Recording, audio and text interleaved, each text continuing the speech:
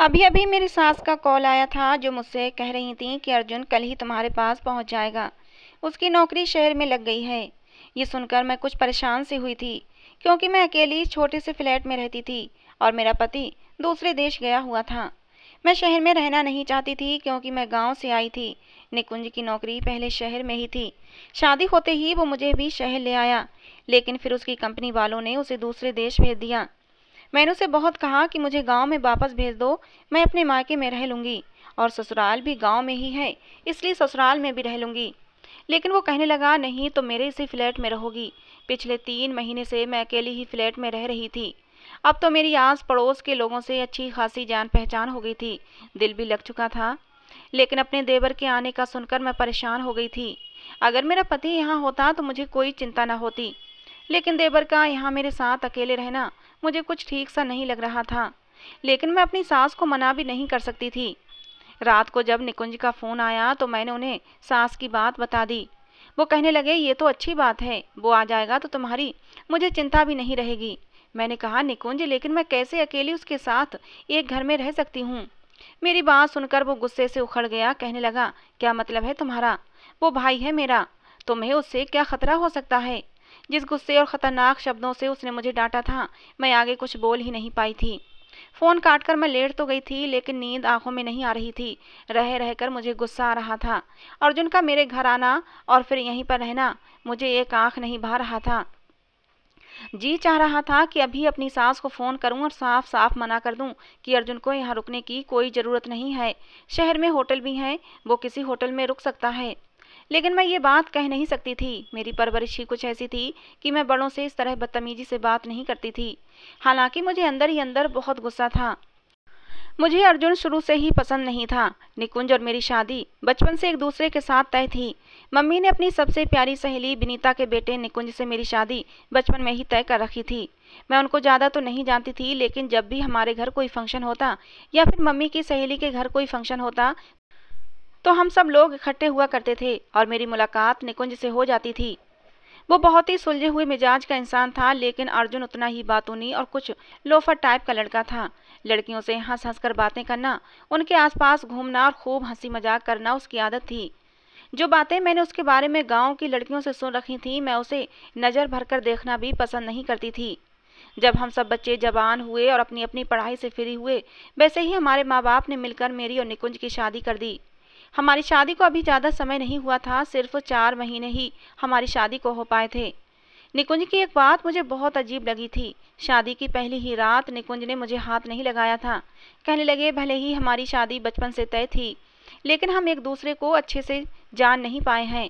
मैं चाहता हूँ कि पहले हम एक दूसरे को अच्छे से जान लें, समझ लें, तभी हम रिश्ते की शुरुआत करेंगे।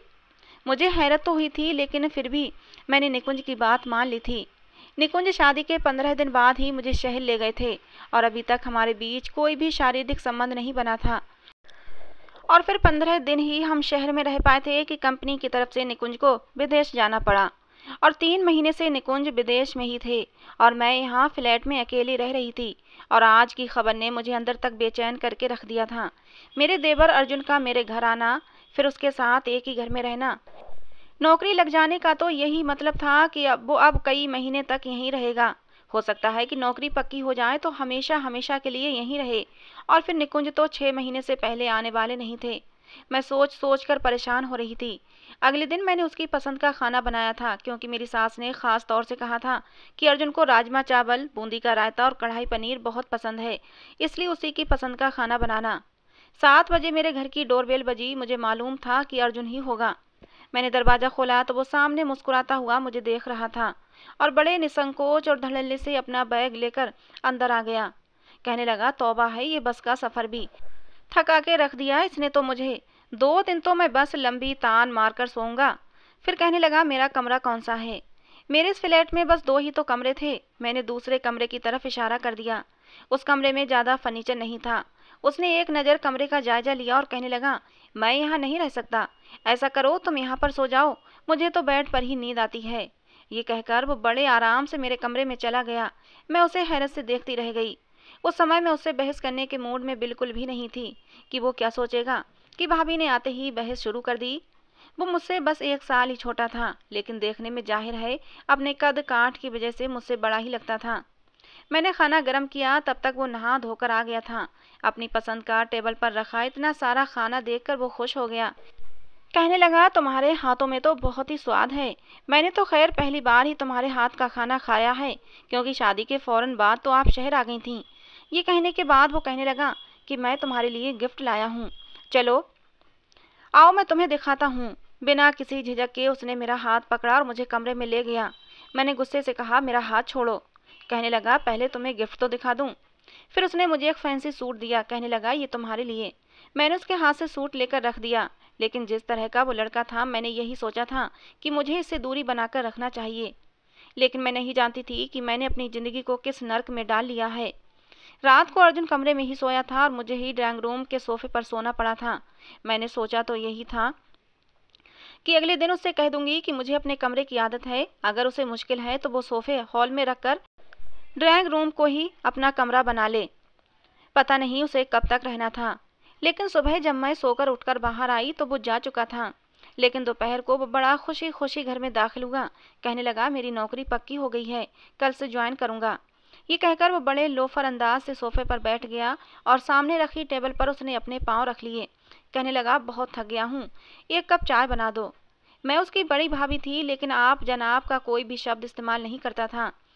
मैंने उसे चाय बनाकर दे दी और कहा कि मुझे अपने कमरे की आदत है, इसलिए तुम ड्राइंग रूम को ही अपना कमरा बना लो। लेकिन मैं नहीं जानती थी कि मेरी इस बात का वो इस तरह का जवाब भी दे सकता है। कहने लगा, अगर तुम चाहो तो हम एक ही कमरा एडजस्ट कर सकते हैं। और ये सुनकर तो मेरा दिमाग घूम कर रह गया था। मैंने गुस्से से उसे देखा तो वो हंसने लगा। कहने लगा, मज़ाक कर रहा था। मैं उठकर किचन में जाने लगी तो मुझसे कहने लगा, वैसे तुम गुस्से में बहुत ही खूबसूरत लगती हो। सच्ची, जब गुस्से के मारे तुम्हारे गाल और नाक लाल हो जाती है तो जी चाहता है कि इन्हें, बात अधूरी ही छोड़कर वो शरारत से मुस्कुराने लगा था। मैं जानती थी कि वो इस टाइप की बातों का आदि है, चाहे सामने वाला उसकी बातों से परेशान ही क्यों ना हो। लेकिन वो बाज नहीं आता था। मैं रात का खाना बना रही थी और वो हॉल में बैठा टीवी देख रहा था। लेकिन जिस तरह की वो इंग्लिश मूवी देख रहा था, आवाज़ें मुझे किचन के अंदर तक सुनाई दे रही थीं। उसकी बाहियात और बेशर्मी पर मेरा जी चाहा कि उसे खरी खरी सुना दूँ, कि उसे तमीज़ नहीं है। घर में उसकी भाभी मौजूद है। लेकिन मैं चुप रही, कुछ कह न सकी। रात का खाना बनाकर मैं अपने कमरे में चली गई। कमरे का हाल देखा तो मेरा सर घूम कर रह गया था। जी चाहा कि अपना सर पीट लूँ। पूरे कमरे में उसके कपड़े बिखरे पड़े थे। कहीं तौलिया, कहीं जूते, कहीं जुराबें। मैं जितनी सफ़ाई पसंद थी, वो उतना ही गंदगी पसंद इंसान था। मैंने उसके सारे कपड़े उठाए और धोने के लिए मशीन में डाल दिए। उसका बैग बंद किया और बाहर हॉल में रख दिया। अगले ही दिन उसने कमरे में बेड लाकर डाल लिया था। मैं अर्जुन के घर आने से पहले ही खाना बनाकर अपने कमरे में जाकर कमरे का दरवाज़ा लॉक करके बैठ गई थी कि जब ये खाना खाकर सो जाएगा, तभी कमरे से बाहर निकलूँगी।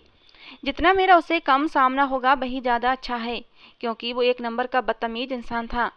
लेकिन मुझे हैरत उस समय हुई जब उसने मेरे दरवाजे पर दस्तक देनी शुरू कर दी।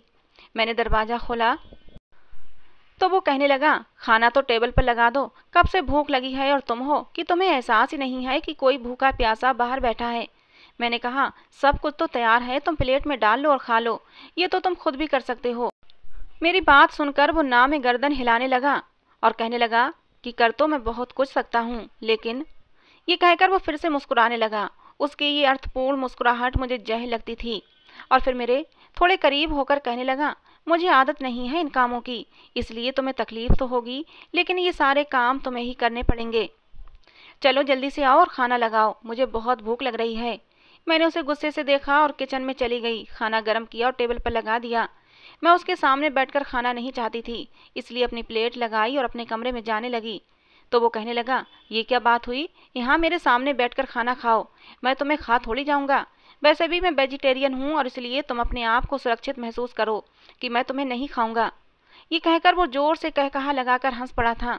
कहने लगा, भाभी हो तुम मेरी, लेकिन ना मुझसे बात करती हो और ना कुछ कहती हो। मैं तो बहुत बोर हो चुका हूँ। मुझे तो लगता है कि भाई भी दूसरे देश इसीलिए भाग गए हैं क्योंकि तुम उसके साथ भी ऐसा ही व्यवहार रखती होगी। तभी तो जान छुड़ाकर चला गया है मेरा भाई। उसकी इस तरह की बातों को सुनकर मेरी बर्दाश्त अब ख़त्म हुई थी। मैंने कहा, तुम अपने काम से काम रखो तो ज़्यादा अच्छा है। तुम्हें खाना मिल रहा है, बस वो खाया करो। मैं कहाँ बैठी हूँ, क्या करती हूँ, क्या नहीं करती, इससे तुम्हारा कोई मतलब नहीं होना चाहिए। मुझे गुस्से से बोलते देखकर वो फिर से हंसने लगा। कहने लगा, यूँ मत बात क्या करो। मैंने ये बात तुम्हें पहले भी बता रखी है कि गुस्से में तुम कुछ ज़्यादा ही अच्छी लगने लगती हो। काश के निकुंज की जगह मैं होता तो मैं ही तुम्हारे साथ उसकी बात सुनकर मुझे आग सी लग गई थी। मैंने कहा, तुम्हें शर्म नहीं आती इस तरह की बातें करते हुए? वो कहने लगा, कैसे शर्म? जानती हो, देवर भाभी में कैसे कैसे मज़ाक और बातें चलती हैं, लेकिन तुम तो शायद बहुत ही बोर किस्म की लड़की हो। जरा मेरे साथ वक्त गुजारा करो तो तुम्हें भी अंदाज़ा हो ज़िंदगी कितनी हसीन है। ये कहकर वो एक के बाद एक रोटी का निवाला मुँह में डाल रहा था। मैं बस उसे हैरत से देख रही थी। मैंने कहा कि मैं निकुंज से तुम्हारी बात करती हूँ, वही तुम्हें तमीज सिखाएगा। कि भाभी से कैसे बात करते हैं? मुझे लगा था कि मेरी इस बात पर वो अपना व्यवहार थोड़ा ठीक कर लेगा, लेकिन ऐसा नहीं हुआ था। उसे तो जैसे किसी बात की परवाह ही नहीं थी। मैंने फ़ोन पर निकुंज को अर्जुन के बारे में सब कुछ बताया, लेकिन निकुंज भी अजीब इंसान था। कहने लगा, तुम गलत सोचती हो, वो ऐसा नहीं है। उसे अपने भाई पर न जाने क्यों इतना भरोसा था? एक शाम जब अर्जुन ऑफ़िस से घर आया तो कहने लगा सुनो, मेरे सर में बहुत तेज दर्द है। ऐसा करो, तुम मेरे सर की हल्की हल्की मसाज कर दो। उसके बाद ही मैं खाना खाऊँगा। मुझे उसकी बात पर गुस्सा आ गया। वो तो ऐसे हक जताकर बात करता था, जैसे वो मेरा पति हो और मैं उसकी पत्नी हूँ। आज तक उसने कभी मुझे भाभी कहकर नहीं बुलाया था। मैंने कहा, तुम कोई पेन किलर खा लो और थोड़ी देर बाद खाना खा लेना। जब सर का दर्द रुक जाए तब। लेकिन वो भी जिद पर आ गया, कहने लगा, नहीं, तुम ही मेरे सर की मसाज करोगी, तभी मेरे सर का दर्द ठीक होगा और मैं तभी खाना खाऊँगा। नहीं तो मैं भूखा ही सो जाऊँगा। मजबूरन मैं उसके कमरे में तेल की शीशी लेकर चली गई और उसके सर पर तेल से हल्की हल्की मसाज करने लगी। वो बेड पर लेटा हुआ था और मैं उसकी दूसरी साइड पर बैठी उसके सर की मसाज कर रही थी। वो मुझे एक टक देखे जा रहा था। एक दो बार मेरी नज़रें उसकी नज़रों से टकराईं तो उसकी आँखों में बेशुमार शरारत भरी हुई थी। मुझे उसके इस तरह देखने पर गुस्सा आने लगा। मैंने कहा, तुम आराम से मसाज करवाओ और अपनी आँखें नीची रखो। मुझे यूँ घूर घूर कर क्या देख रहे हो? मेरी बात सुनकर वो ज़ोर से हंस पड़ा। कहने लगा, देख रहा हूँ तुम कितनी मासूम और प्यारी हो। तुम्हें देखते ही मेरा दिल मेरे बस में नहीं रहता मैंने गुस्से से तेल की बोतल वहीं रखी और कमरे से निकलने लगी। पीछे से मुझे उसकी हँसी सुनाई दी थी। कहने लगा, अरे, मैं तो मज़ाक कर रहा था। तुम तो नाराज़ हो गई। मसाज तो कर दो, सच में बहुत मज़ा आ रहा था। लेकिन मैंने उसकी एक न सुनी और कमरे से बाहर निकल आई। दरवाज़ा बंद करने से पहले कहा कि खाना टेबल पर लगा है, खा लेना, मैं सोने जा रही हूँ। मैं अपने कमरे में आकर दरवाजे का लॉक लगाकर अपने बेड पर लेट चुकी थी। हालाँकि मेरे कान बाहर की तरफ़ ही लगे हुए थे। पता नहीं वो खाना खाएगा भी या ऐसे ही भूखा सो जाएगा। मुझे उससे लाख चिड़ सही, लेकिन मैं नहीं चाहती थी कि वो भूखा सोए। इसलिए मेरे कान बाहर की तरफ़ लगे हुए थे। लगभग आधे घंटे के बाद ही मुझे बाहर बर्तनों के खटकने की आवाज़ें आने लगी थीं और मेरे दिल को सुकून आ गया था और मैं आराम से सो गई थी। रात का न जाने कौन सा पहर था कि मुझे कुछ अजीब गरीब सा शोर सुनाई दिया था। इसी शोर की वजह से मेरी आँख खुली थी। मुझे लगा, जैसे मेरे कमरे की बालकनी में कोई मौजूद है, मुझे किसी के चलने की आहट साफ़ सुनाई दे रही थी। मैं एकदम हड़बड़ाकर उठ बैठी थी। मैंने कांपते हाथों से पर्दा हटाकर देखा तो वहाँ दो आदमी मौजूद थे। दोनों के ही हाथों में पिस्तौल थी। मेरा दिल धक से रह गया था, यानी कि हमारे घर में चोर घुस आए थे। चोर मेरे कमरे की बालकनी में थे और मेरी बालकनी का दरवाज़ा मेरे कमरे में खुलता था और चोर कमरे के दरवाजे के ठीक सामने खड़े हुए थे। वो कुछ ही पल के अंदर दरवाज़ा खोल कर अंदर आ सकते थे। मुझे याद नहीं था कि दरवाजे का गेट अंदर से लॉक है या खुला हुआ है। और मेरे पास इतना समय भी नहीं था कि मैं जाकर दरवाज़ा चेक करती। अगर मैं दरवाजे तक पहुँचती, तब तक वो लोग अंदर आकर मुझे दबोच सकते थे। मैंने भलाई इसी में जानी कि मैंने जल्दी से रूम का दरवाज़ा खोला और बाहर की तरफ़ दौड़ लगा दी। कमरे से बाहर निकलने से पहले मैंने कमरे को बाहर से लॉक कर दिया था, लेकिन ये मेरी गलतफहमी थी, क्योंकि हमारे कमरे में खिड़की थी और उस खिड़की को अंदर से खोल कर कमरे की कुंडी को बाहर से आसानी से खोला जा सकता था। मैं हड़बड़ाहट में अर्जुन के कमरे के दरवाजे को खटखटाने लगी वो भी शायद गहरी नींद से जागा था। मुश्किल से ही आँखें खोलकर मुझे हैरत से देखने लगा। मेरे चेहरे की बदहवासी देखकर मुझसे पूछने लगा, क्या हुआ है? मैं फ़ौरन से उसे पीछे हटाकर उसके कमरे में आ गई। मैंने जल्दी से उसके कमरे का दरवाज़ा अंदर से बंद कर लिया और कुंडी भी लगा दी। और ये सब देखकर वो बहुत हैरान था। मेरी हालत ठीक नहीं थी। डर की वजह से शब्द मेरी जबान से नहीं निकल रहे थे।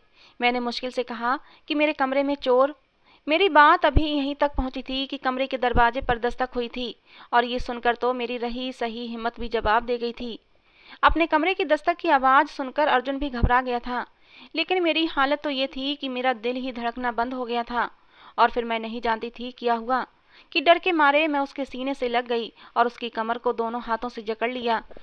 मैंने कहा, बाहर चोर हैं, ये लोग मेरे कमरे में थे, मुझे डर लग रहा है डर के मारे मुझे लग रहा था कि शायद मेरी जान ही निकल जाएगी।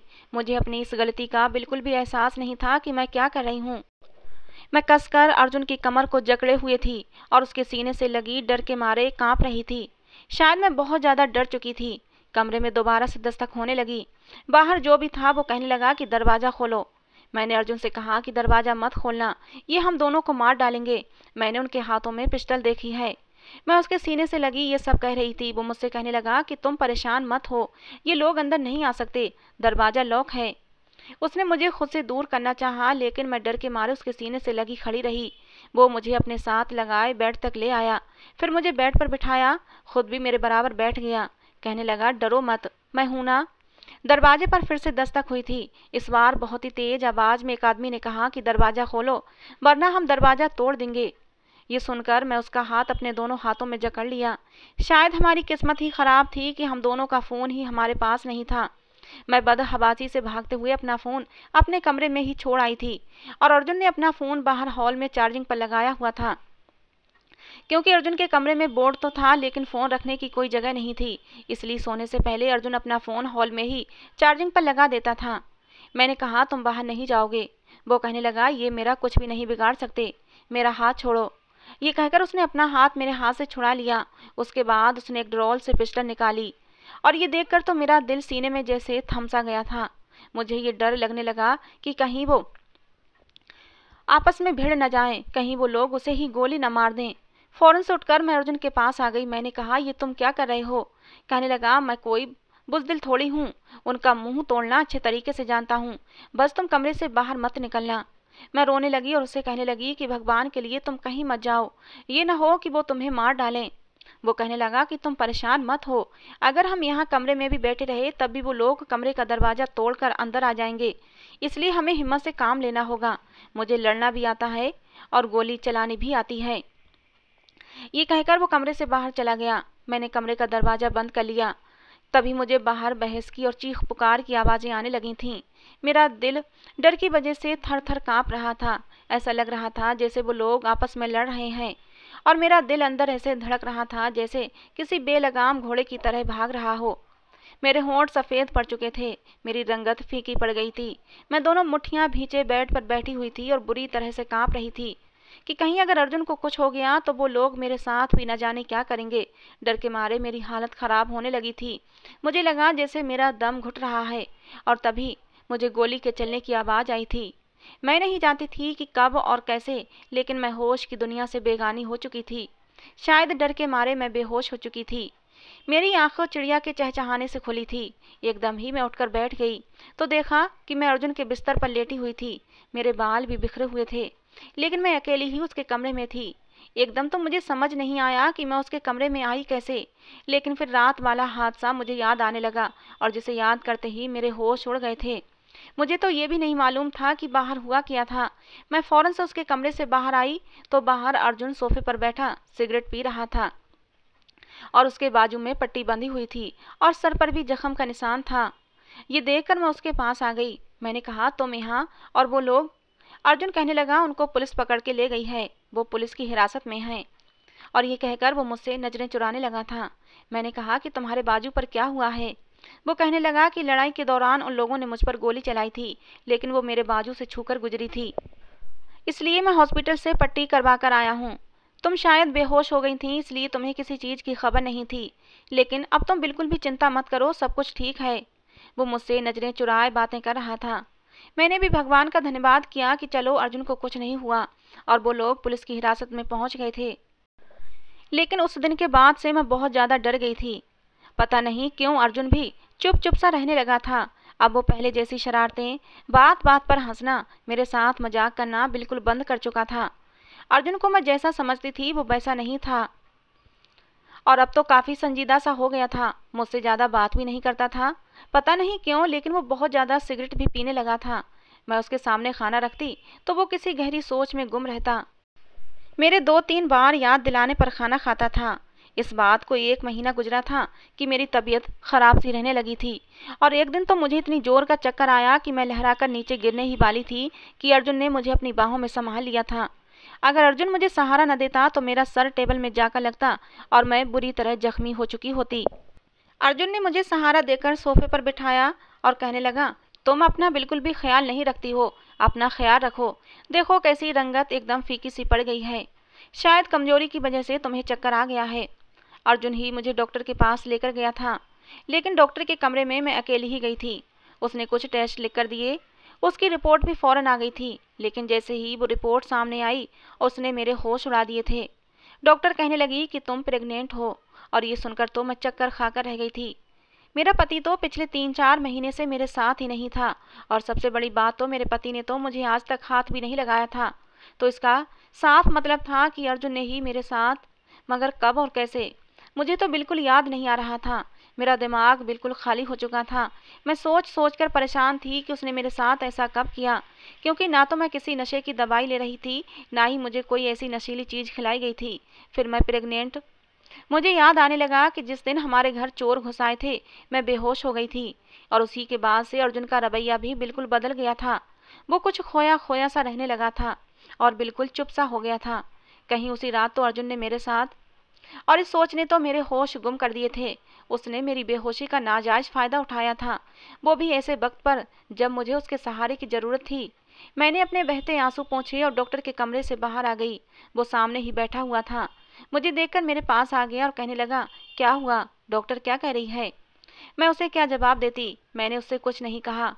मैंने सोचा कि घर जाकर उससे पूछूँगी कि उसने मेरे साथ ऐसा क्यों किया। मैं उसके भाई की पत्नी थी, उसे शर्म आनी चाहिए थी ऐसा सब कुछ करते हुए। लेकिन घर आकर तो मेरे होश उड़ गए थे, सामने ही निकुंज खड़े मुस्कुरा रहे थे। कहने लगे, कैसा लगा मेरा सरप्राइज़? मैं देखकर दंग रह गई थी, मेरा दिल धक से रह गया था। लेकिन मैंने देखा कि निकुंज को देखकर अर्जुन कुछ ज़्यादा ही परेशान सा हो गया था। मैं निकुंज के पास चली आई। उस समय इस कदर अंदर से दुखी और टूटी हुई थी कि मुझे कुछ समझ नहीं आ रहा था कि क्या करूँ। मैं निकुंज के साथ लगकर रोने लगी कि उन्हें कैसे बताऊँ कि उनके भाई ने मुझे बर्बाद कर दिया है। मैं तो मुश्किल समय में उसके पास इसलिए गई थी कि मुझे लगा था वो मुझे पनाह देगा, लेकिन मैं नहीं जानती थी कि वो मुझे बर्बाद करके रख देगा। निकुंज मेरा सर सहलाने लगे और कहने लगे, मैं आ तो गया हूँ। तुम्हें तो खुश हो जाना चाहिए, रो क्यों रही हो? लेकिन अगले ही पल जो हुआ, ऐसा लगा कि ज़मीन आसमान मेरी आँखों के नीचे एक हो गए हों। क्योंकि थोड़ी देर में अर्जुन भी निकुंज के करीब आ गया।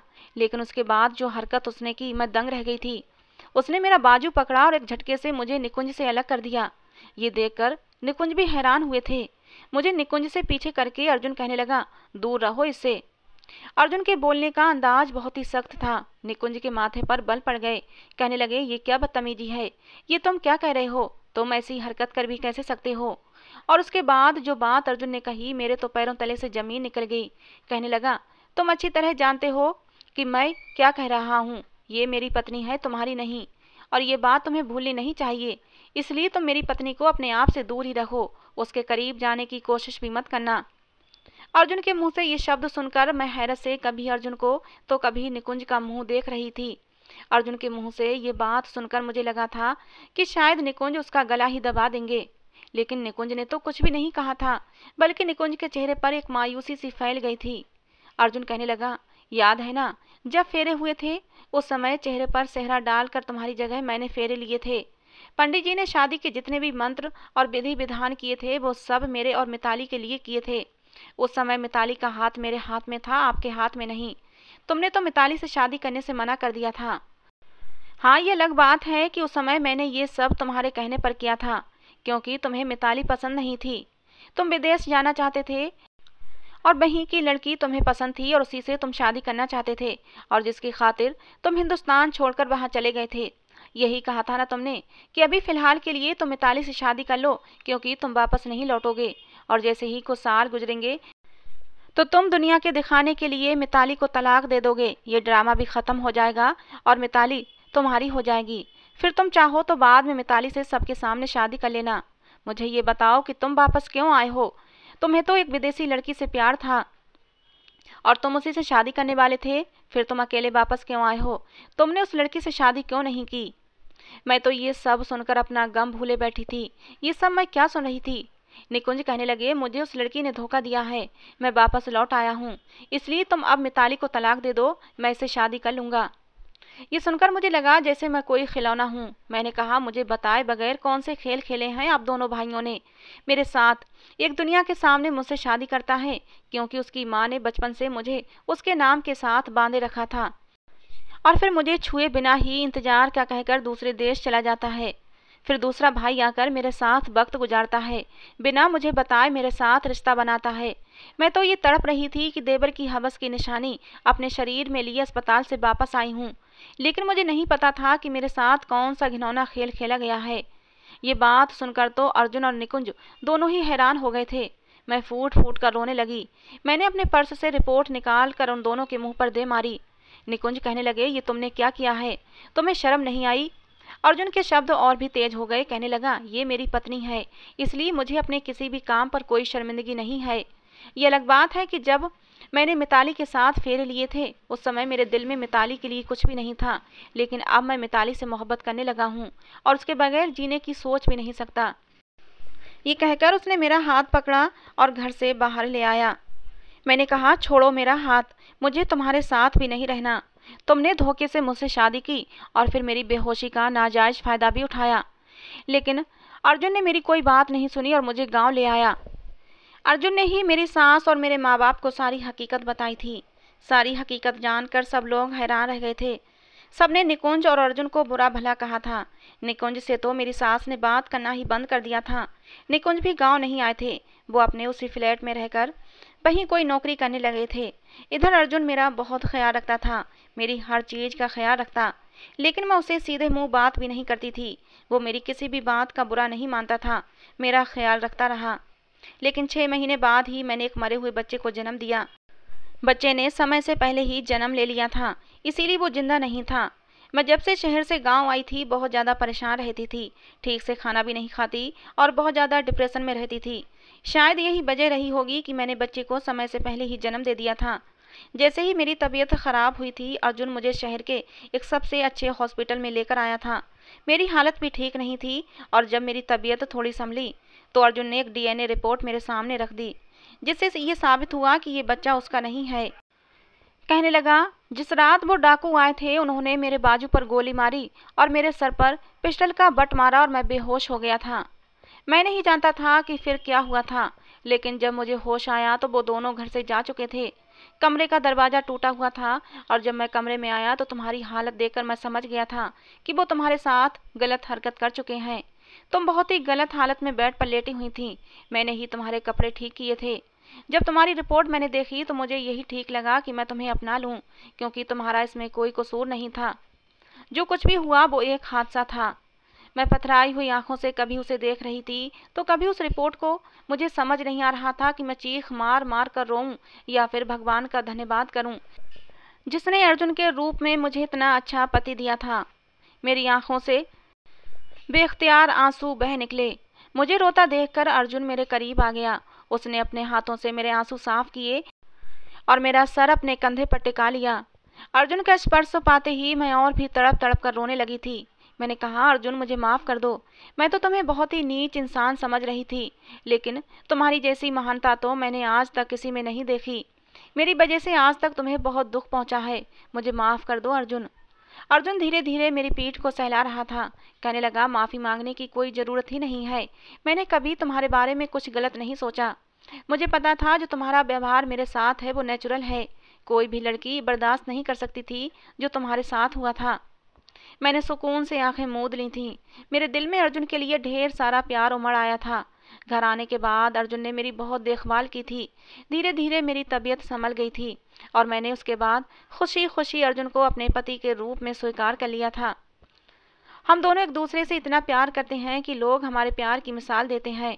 अर्जुन की हमराही में मैं बहुत खुश हूँ और खुशी खुशी ज़िंदगी गुजार रही हूँ। तो दोस्तों, ये थी आज की हमारी कहानी। आपको कैसी लगी ज़रूर बताना। पसंद आई हो तो प्लीज़ एक लाइक ज़रूर करना। कहानी को लेकर अपनी राय ज़रूर देना दोस्तों, जिससे कि हमें पता लगे कि आप लोगों को हमारी कहानी पसंद आती है या नहीं। कहानी को अंत तक सुनने के लिए आप लोगों का बहुत बहुत धन्यवाद दोस्तों। मिलते हैं अगली किसी नई कहानी के साथ।